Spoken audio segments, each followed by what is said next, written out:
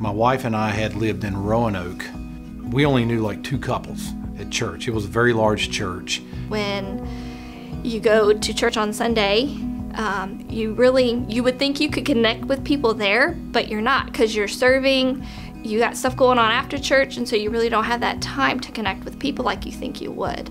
So when we moved here, we were intentional the other way. We we made sure that we were going to find a church, and when we got there, we were going to get involved. And we found this church and got plugged in with a small group right away. They were all in the same life cycle that we were. Honestly, they were all like we were.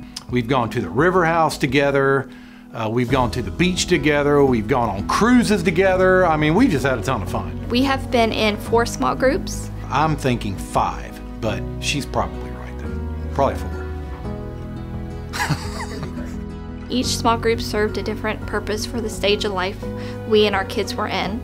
It's added so much more depth to um, my life, deeper friendships, uh, not surface. And that's the whole point of small groups, to get to know people on a on a level that you can actually meet people. I mean, there's there's no way that you can make relationships with 1500 people. 15 or 20, yes, you can build a good, strong circle with that many people, and that's that's what we've done. We've we've got some core friends that um, you know we just we've done life with. We've held each other accountable. We've had lots of fun. We've cried tears. It's the whole thing.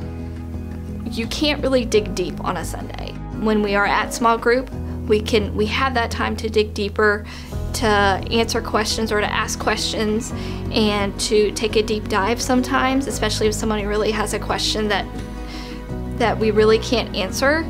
That's helped me grow as well um, in my faith for sure. It's that spark. When people are searching, you don't leave them out there to search. You, you go find them and help them find what they're looking for. My part that I think that I need to play is is to show people God's love.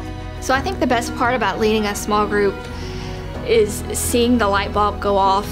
Um, may, sometimes for myself, but mostly for, for the other people in our small group who haven't been Christ followers for as long. And so seeing their lives change.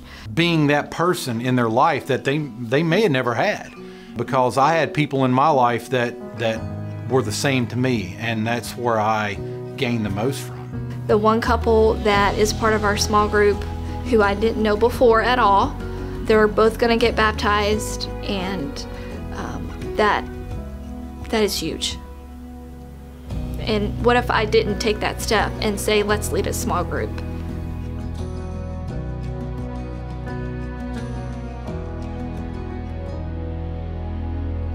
We said yes to small groups.